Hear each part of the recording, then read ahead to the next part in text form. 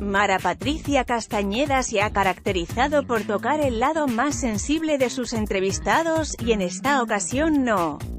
pudo ser la excepción y es que durante su programa logró hacer llorar a su invitado, se trata de Juan. José Origel quien confesó que ya piensa en el retiro, además no pudo contener las lágrimas al hablar sobre lo